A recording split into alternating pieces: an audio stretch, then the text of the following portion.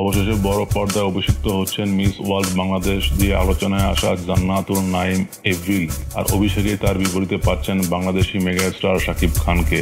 বিষয়টি এপ্রিল নিজেই নিশ্চিত করেছেন। তিনি বলেন, গত উনত্রিশে জুন শাকিব ভাইয়ের সঙ্গে একটি ছবির মিটিংয়ে বসেছিলাম। এপ্রিল বলেন, চলচ্চিত্রে অভিনয় করতে যাচ্ছি, এটা আমার জন্য, যার পরনাই আনন্দের। বলা যায়, আমার স্বপ্ন সত্যি হতে যাচ্ছে। শাকিব ভাইয়ের বিপরীতে একজন নায়িকা থাকবে।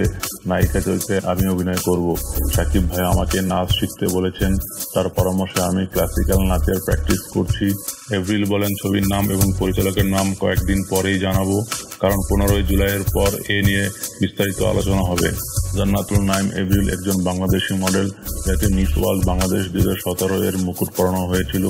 যদিও দুই হাজার সতেরো সালের উনত্রিশে সেপ্টেম্বর দুই হাজার সতেরো মিস বাংলাদেশ প্রতিযোগিতার ফাইনালের দিন তাকে মিস বাংলাদেশ ঘোষণা করা হয়েছিল তবু এটি সমালোচিত হয়েছিল। পরে তার বিরুদ্ধে অভিযোগ আসে, প্রতিযোগিতা অংশগ্রহণের সময় তিনি তার বয়স লুকিয়ে রেখেছেন এবং বৈবাহিক অবস্থাও গোপন করেছেন। যদিও মিস ওয়ার্ল্ড বাংলাদেশের নিয়ম অনুসারে প্রতিযোগীকে অবিবাহিত থাকতে হয়। এ কারণে আয়োজকরা বিজয় ঘোষণার চার দিন পর চার অক্টোবর দুই হাজার সতেরো তারিখে তাকে অযোগ্য ঘোষণা করেন এবং জেসিয়া ইসলামকে নতুন মিস বাংলাদেশ দুই হাজার সতেরো ঘোষণা করেন।